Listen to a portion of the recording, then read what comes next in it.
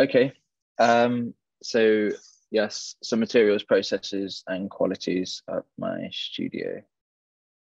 Um, so a brief kind of uh, screenshot of my studio, just to kind of set the basis, I guess, for some of the materials and machines that I work with.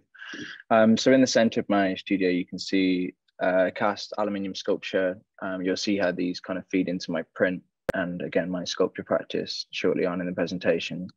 Uh, to the right of that, there's just a small, but I guess quite large uh, wax sculpture. This is actually at the foundry being cast into bronze now, but on the left hand side, you can just, I guess it's half of it's cropped off, but you can see one of the 3D printing machines that I built a meter and a half by a meter and a half in all dimensions. And I use this to extrude porcelain into molds uh, moving through into wax and then into bronze. And then in the drawers below, you can just see some of the etching. So this is my kind of main, I guess, entry point onto the, the residency and working with some of the tech that is available uh, there. Um, again, moving into tech. Uh, so just as a kind of brief overview of a, a, project I completed before the residency, just to kind of give an overview of my workflow. So this, uh, a full body motion capture suit uh, which is what I'm pictured wearing here. It's got sensors at each kind of, I guess, point of movement on the on the body. Um, and then I 3D scanned myself, hooked it up to the motion capture suit, and I was wearing the motion capture suit whilst operating a fax machine. It was a very simple study of just a man at work, man at machine. Um, and that was going to be the starting point for the body of work that's to follow. So this body of work, uh, which consists of sculptures and prints, is called We'll Burn That Bridge when we get to it. So this was one of the early monotypes that I started making from that body of work. Again, you can start to see, I guess the figure on the left is almost starting to operate the fax machine. And then as he moves from the left to the right, you can see his arms begin to raise and he begins to load the paper, press the buttons and operate this machine. Um, so it was at this point that I started to become particularly interested in how the use of emerging technology can kind of lead to these emerging qualities being revealed in people even just so simply within this print, I started to uh, really like this kind of like hierarchy that's forming. There's almost these two puppeteers that are appearing on the on the right hand side, and this was purely coming about just through a monotype printing process with the 3D printing machine, in which there was a inked up layer of glass. The printer was attempting to draw this man on the fax machine, but this kind of errors and things start to occur. Um, a small snapshot of the etching needle drawing across the copper plate and some of the etchings that come from it. So the reason I have this here is because this this piece effectively changed my entire practice and led into the body of work that I'm doing at the center now. Again, there's the man on the fax machine, but there's this there's this kind of slightly awkward hand, which is almost sighing or wiping his forehead, I guess. And that's just the moment where he was loading his paper into the fax machine. As the 3D printer was drawing over the etching plate, I begin to work into it. Uh, there's, a, I guess, a mechanical error of some sort, also hand interference. And he goes from this man at work to this man that's, I guess, finished work, now tired and wiping his forehead, or even this quite militant sergeant attentive uh, pose. And again, it's using these emerging technologies to start to find these emerging, uh, I guess, aspects of of people as we're kind of beginning to move in this this digital and physical landscape. Um, from here, that moves through into the the ceramic coiling that I just showed you on the machine, where I build a mold in the ceramic. I slush the internals of that with wax, which goes through the lost wax casting process into bronze, which is pictured here. Again, another one of the prints. And one of my favorites about this piece was how you have this kind of Jacob Epstein rock drill um, moment where that head that was facing down into the machine's almost got this droid-like quality and it turns inwards. And then again, moving through into, this was my first sculpture cast over a meter tall into aluminium and again it's kind of arcing back to these um, these mechanical this mechanical language of i guess um, of, of, of, the of the machine. Um, so to set the tone for my project at the center for print research um, which currently the working title is uh, the talking tree which loosely plays on a fabled story of alexander the great in his kind of i guess the epic the alexander romance um, this is a just this is just a still of him in a particular position where in the story where he's choosing to either conquer the skies or conquer the seas. And in this particular instance he's going out to the sea into what's known as a bathysphere.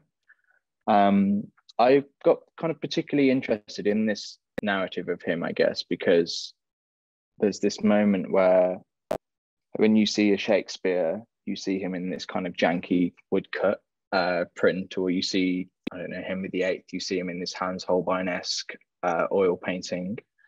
And the thing that was amazing with the Alexander the Great or the Alexander romance was that because he conquered so much of the world, one moment you'll see him in this Oriental style, then you'll see him in this kind of illuminated manuscript here. And it's, he almost reached a status of devil, God, Jesus, Santa, whichever, he kind of completely surpassed just this isolated um, kind of king or something. He completely surpassed that realm.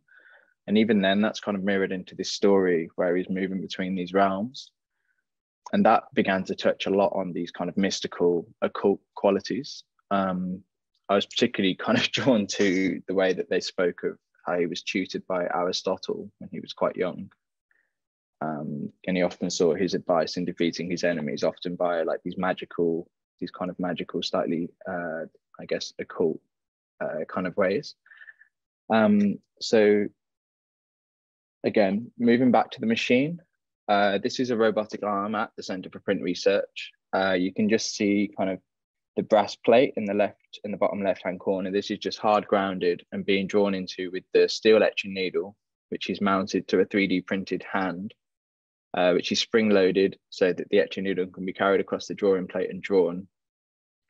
And there's a series of images that are being fed into that are being fed into this. But my kind of, I guess my main I guess like thesis or, or, whichever for this project is that it's the kind of experimentation on the use of the machine as oracle as opposed to uh, an accident causer. So I guess in my previous work that I'd highlighted on Just, which is why I wanted to include this, is that when the ballerina say fell out of the study of the man on the fax machine, um, I use the word fall out of because in in in in, in William Burroughs's writing, he often made a obviously made a, a great use of the cut-up. Um, he often spoke about if you cut up multiple meanings and multiple text and fragments, these different meanings start to almost leak out.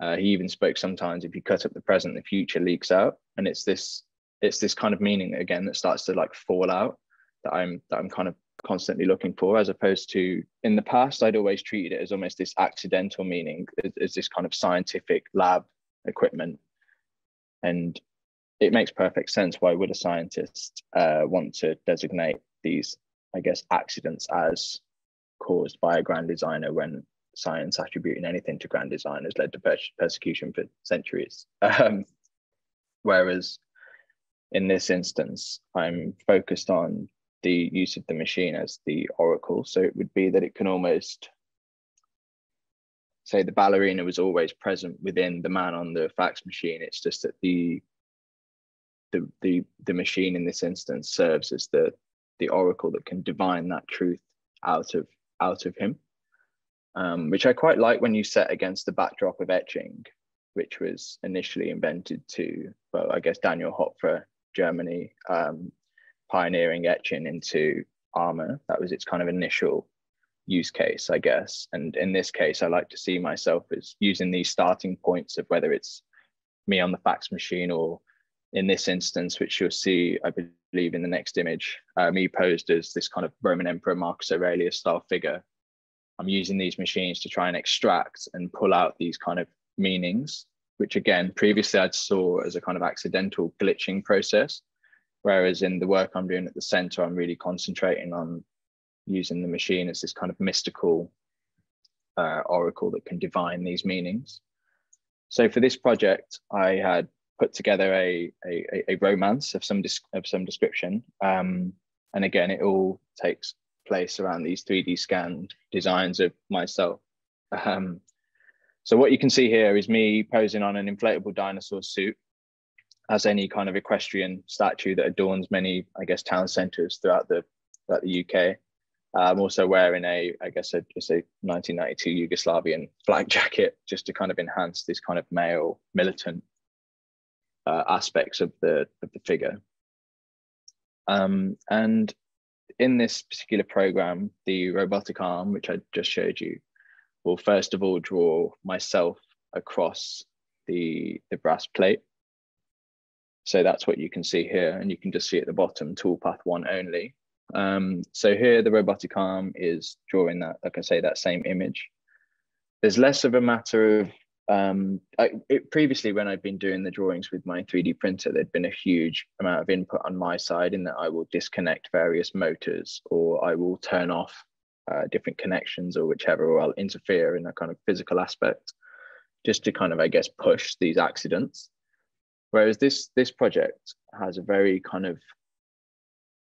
it's it's it's it's quite um it's quite pure to the actual mechanical lines. Like you can see there's not a great deal of interference here. So it's very much trusting again this this divination of the of the machine. So toolpath one has been drawn here. Uh, the next slide. So again, uh, arcing back to this kind of reference point of Alexander the Great. Uh, so I'll show you shortly, but there's a decision tree that I have put together where it's like, will James, draw James, and then will James conquer the sea or attempt to conquer the sea at least, or will he conquer the sky? Um, so in this instance, you can see toolpath, toolpath one, which is what you've just seen, which is to draw James on top of the dinosaur. And you can kind of just see some of the forms uh, below some of the kind of erratic mark making. And then in this instance, the sea is yes. So the robotic arm will continue to draw its interpretation via um, via Cura, which I'd use to compress the JPEG down into a relief style STL file. Um, and then that's that's moved into G code and across to the, the robotic arm. Um, so here it has drawn uh, those two images over the top of each other. And at this at this point, I kind of I almost treat this as I guess like the reading. If we were to pull on something else within this kind of occult realm, if we were to go with say tarot, this is almost like the card being pulled. Um, so again, this is where James would attempt to conquer the the sky. Um, this is an image of a a person, a, an, outsider artist of some some description, uh, Gustav Mesmer. Um, he used to make these flying machines, quite ratchet flying machines, and attempt to uh, fly and run around these fields and, and, and make flights. Um, so again, in an attempt to conquer the sky, it would draw me in the first instance, and then it overlaid this image of Gustav Mesmer in the second instance. Um, outsider art has always actually kind of been a big I guess influential point with with with my work, um, and you can kind of see it a lot more now with the kind of DIY machines and, and things. Um, but in this instance, it's just drawn me, and then Gustav Mesmer over the top. And as I was saying, just this isn't necessarily the kind of the divination of the machine. There's no there's no vulnerabilities uh, being divined here. This is just the reading. The next process, which is in the next slide, is here, um, which for me is the this this for me is the divination process. This is this is the kind of the moment where we are we are trying to decipher the tea leaves. We're trying to read the tarot. We're trying to uh, consult the oracle. Uh, ultimately, it's this moment where you touch on these kind of phenomenon of, I guess, uh, pareidolia, where you where you, you look for faces in clouds or you find like I don't know different expressions in tree bark, and it's this kind of moment. It, it's quite surreal in a sense, but like one one one aspect of myself feels as though I'm I'm I'm effectively like mining these kind of these realms of information um, because ultimately these images have been translated into this information of, of literally coordinates, XYZ coordinates, and then back to something visual. And it's at this at this point where this kind of phenomenon, like I say, pareidolia like starts to come into place. Um, these volcanoes start to appear, which may indicate like bad. if we are to go with the the consultation, that, that there may be I don't know bad bad energy coming if, if James was to travel into the sky. Um, it could be that these this figure these figures appear here and they've got this kind of shield that he's wearing and these different wings. Um, and that's ultimately the, the starting point for where the etchings begin to move through the aquatint and etching process and into a, a series of, of prints ultimately. Um, and then next slide, I can. and then, so here is my decision tree. Again, so this is a kind of narrative that I put together with the various reference points, some of which from the Alexander Romance, and some of which from, uh, yeah, different different reference points I've been reading, I guess. And it's at this point that the robotic arm begins to move through this this narrative um, and it will draw different aspects. But I'm, I'm quite interested in the idea of the production process actually being used for a kind of variable edition of some description. Um, like as in an artist could come to a production house, a print house with a full narrative with the different etching plates with these different narratives and arrive at a fun of six, I think this has got 16 different outcomes, uh, which I find like quite interesting that use case. Um, and then just to kind of, I guess, wrap up with the actual way that I pull my work together. Um, this was a show that I had briefly uh, just before um, uh, during Frieze last year. Uh, so this gonna tell the title of the exhibition, gonna tell my kids this was Marcus Aurelius, and again, it's this it's this aspect of beginning with this man on the equestrian horse and trying to extract these meanings from within.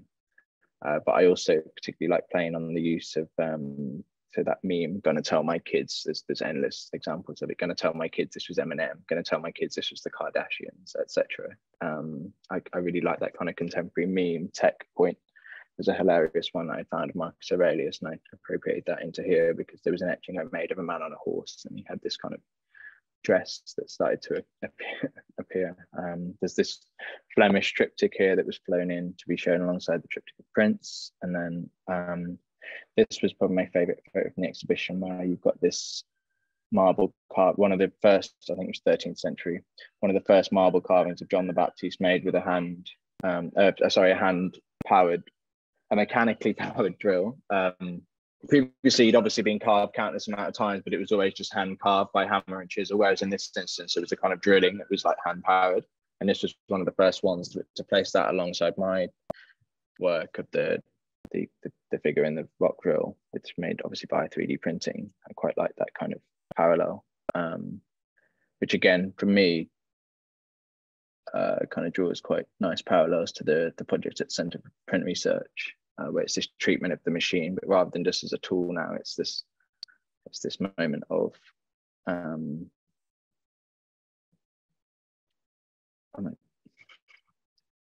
yeah, as opposed to um, it just being a tool to complete a job, it can almost be consulted now in a kind of oracle sense. And I'm hoping at the end of this this the print series to arrive at a sort of relationship with the machine in which I can consult it on various decisions or um, ways of making or treating the, the figure within a sculptural and print-based sense. Um, but yes, that's it from uh, me. I hope that was good